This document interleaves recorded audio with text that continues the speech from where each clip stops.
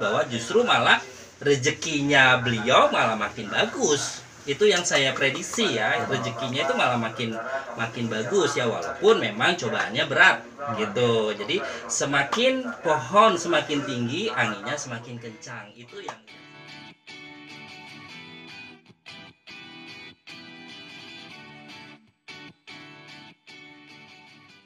Eh, kan sedang heboh nih sosok Dodi Sudrajat ada salah satu media yang memberitakan bahwa dia akan diramal akan meninggal dan meninggal itu sama orang keluarga terdekat diracun Eh, diracun gitu maksudnya kan Dede sendiri kan dekat ya dengan Iya. seorang Dodi Sudrajat Iya, ya. saya dekat gimana sama Dodi. gimana tanggapannya apakah Oke. dia Dodi Sudrajat suka bicara juga Iya, jadi gini, eh, kalau untuk kematian yang saya rasakan, yang saya ini ya artinya gini, setiap makhluk hidup pasti ada kematian. Ya, setiap makhluk hidup ya. Jadi kalau untuk masalah kematian itu kan eh, semua eh, kematian, jodoh, rezeki semua itu kan di tangan eh, Tuhan ya. Kita punya Tuhan dan kalau saya sih eh, merasa bahwa kita tidak boleh atau kita tidak ya, kalau bisa jangan pernah mendahulukan Tuhan. Ya seperti itu ya. Oke kalau untuk saya kalau saya pribadi melihat eh, Pak Dodi Pak Dodi sendiri bahwa justru malah rezekinya beliau malah makin bagus itu yang saya prediksi ya rezekinya itu malah makin makin bagus ya walaupun memang cobaannya berat gitu. Jadi semakin pohon semakin tinggi anginnya semakin kencang. Itu yang yang saya rasakan untuk Pak Dodi sendiri. Oh, pas ada berita itu apakah Pak Dodi langsung kontak? Kalau jujur aja ya oke baik. Kalau untuk boleh jujur ya. Jadi eh, pas ada berita itu Pak Dodi langsung ngabari langsung kasih tahu ke saya. Saya ya saya sih hanya ya biasalah eh, manusia itu kan kalau untuk hal-hal yang buruk atau kalau kita sudah tidak disukain orang selalu dicecer ya. Seperti itu. Jadi ya gimana caranya kita harus eh, legowo harus eh, gimana caranya kita harus tetap eh, ber, ber- apa ya artinya bahwa gimana caranya untuk kita berbaik diri aja lah gitu. Udah masing-masing intinya kan seperti itu kan? Kembali lagi semua ke Tuhan. Apa yang disampaikan Pak Dodi waktu itu?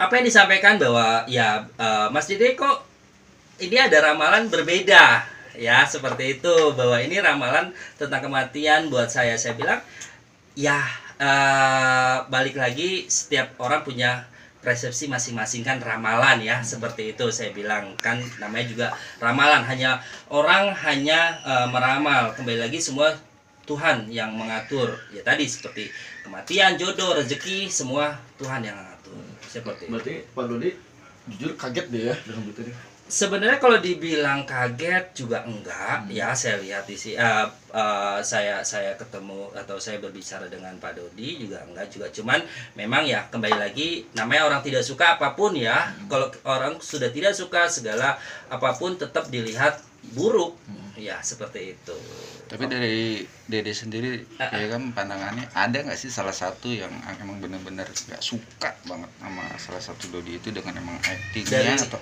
ya apa Dodi ini gitu. dari keluarga atau dari orang luar orang ya kalau untuk ngikutin netizen ya bukan satu dua ya yang kita tahu kan gitu kalau untuk ngikutin netizen semua eh, bahwa eh, semua kita ya nggak perlu dijelasin bahwa netizen juga memang tidak tidak menyenangkan itu kan gitu. Tapi kembali lagi ya hak orang masing-masing kan gitu.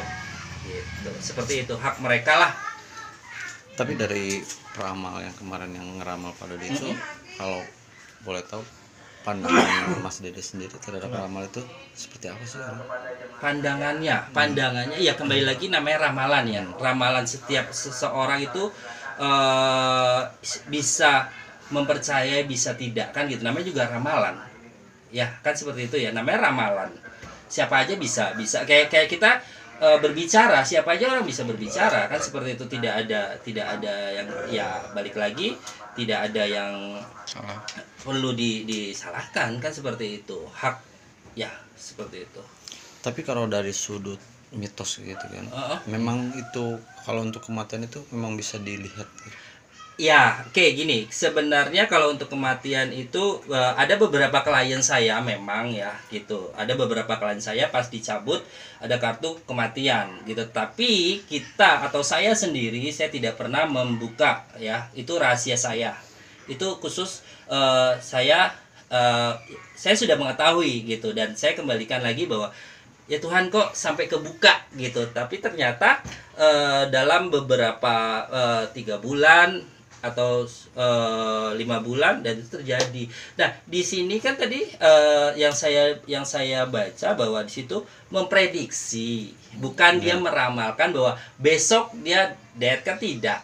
Dia memprediksi bahwa nanti kematian Pak Dodi diracun, memprediksi.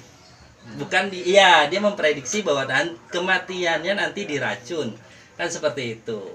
Gitu. Bukan dia eh, bukan dia langsung me- me- mengejas bahwa oh besok kamu dead mati. Kan seperti itu. Tidak. Tapi diprediksi kematiannya nanti diracun oleh keluarganya. Kan seperti itu ya? Benar ya? Betul. Gitu. Jadi ya kalau ya saya bilang ya eh, ya ramalan ya boleh percaya boleh tidak. Tapi kalau menurut saya sih ramalan saya pribadi bahwa beliau akan lebih sukses. Suksesnya luar biasa malah cewek-cewek banyak. Cewek-cewek nih nanti banyak nih yang hubungin Dedi nih Dad cewek-cewek Dad Nah pertanyaan cewek-cewek itu deh, ah, Kang Ade, Ah, ah. hanya cuma hanya buat gimmick atau settingan aja nih? Nah, balik lagi ya kalau untuk gimmick atau settingan ya saya kembali lagi ke orangnya masing-masing ya si si cewek tersebut karena memang untuk mendekati eh, Pak Dodi otomatis kan ada sesuatu ya dan saya saya juga ngerasa bahwa banyak sekali yang bukan banyak sekali eh, yang dekat dengan Pak Dodi pasti tenar. Betul nggak? Iya kan teman-teman? Ya, jadi seperti itu. Jadi yang dekat dengan Pak Dodi ya pasti tenar gitu. Jadi ya artinya bahwa ya eh, kembali lagi bahwa mereka ada keinginan se- eh, sendiri pastinya untuk mendekati dengan Pak Dodi. Kan seperti itu. Untuk masa kejayaannya deh, ada nggak jenjangnya atau sampai kapan? jenjang kejayaannya Pak Iya. Dodi gitu. Oke, kalau eh, saya tangkap ya di sini untuk masa kejayaan sebenarnya sih eh, panjang, sebenarnya panjang ya, tapi bagaimana kita yang susah itu kan menjaga. Menjaga. Kalau memulai itu gampang. Nah, komitmen itu yang sulit. Untuk mengkomitmen eh, artinya bahwa saya harus tetap stay di di di dunia entertainment. Nah, itu ngejaganya itu bagaimana? Nah, harus harus benar-benar di manage. Ya, gitu. Jadi, kalau saya sih ngeramal seseorang selalu pakai logika. Dan, dan saya menjelaskan bahwa eh, dengan logika juga. Jadi, kalau untuk dibilang panjang panjang, saya lihat di sini. Karena su- kalau sudah menyem, ya, sudah nyemplung ke dunia entertainment itu pasti panjang karena udah udah di udah udah di udah ada sampel artis kan? Gitu. Nah tinggal bagaimana ngatur. Mengatur untuk bisa tetap tetap eksis tetap intens di dunia entertainment. Betul tidak? Betul. Satu kali lagi, Iya. untuk hubungan anak sama Mayang itu gimana sih? Ada nggak sih eh, keselisih pahaman? Terakhir kan dia bilang di Polda itu kan ada ada selisih pahaman gitu. dengan dari Mayang dengan Dedi Dedi sendiri Ah, gitu dengan. Dedi ya. Mm-mm. Oke, selama saya tahu dengan Pak Dodi ya, yang saya tahu bahwa Mayang tersebut tipikal anak yang penurut. Ya, Eh, Mayang ini anaknya baik banget, bener. Mayang tuh tidak banyak tidak banyak neko-neko, tidak banyak warna-warna yang kalau untuk bahasa Jawa ya seperti itu. Dan Mayang ini tipikal anak yang benar-benar penurut gitu. Jadi kalau saya rasa dia sampai kelas atau dia ini atau bentrok, saya rasa sih tidak. Terkecuali memang ada sponsor ada yang ngomporin ya seperti itu. Saya nah itu lain lagi cerita. Tapi kalau untuk Mayang sendiri saya akuin Mayang best banget. Itu anak luar biasa. Baik Mayang tuh. Dan penurut ya. penurut Mayang itu benar-benar penurut buat baik banget Mayang tuh. Luar biasa deh selama saya tahu ya yang saya deket dengan Mayang itu baik banget ini anak sopan ramah. Setiap saya datang eh Om Dede salaman cium tangan selalu seperti itu. Dan eh, tidak banyak bicara.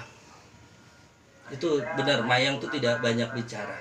Selalu dia eh, dengan dengan ya, ininya sendiri. Dia tahu kotak-kotaknya. Ini bukan urusan saya ini bukan urusan saya. Jadi dia paham gitu. Itu sih yang saya tahu